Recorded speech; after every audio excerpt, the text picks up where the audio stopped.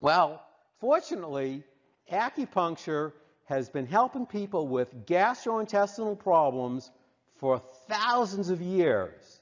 And in my subspecialty of acupressure acupuncture therapy, I created a series of videos which I have online. So I created a video for these hiccups.